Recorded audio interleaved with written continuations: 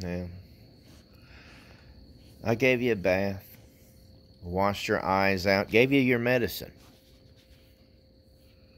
And I watched you after I dried you and fluffed you for 44 minutes.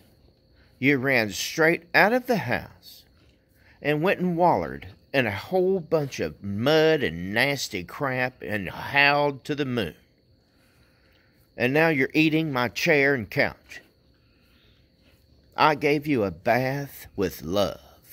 And what did you do in return? I've given you your medicine.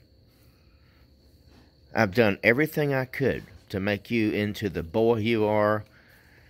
But right now, you are trying to make me feel like I haven't done anything. Meatball. Meatball. Meatball. Look at me. Honey, I love you. I don't know why you're scratching your face. I've, I've done all that. I gave you your wrinkle paste. I put your wrinkle paste on. I put your eyeball drops in. I washed you. Your nails need to be trimmed, and I will trim them tomorrow, as I always do. But after I gave you a bath, you ran.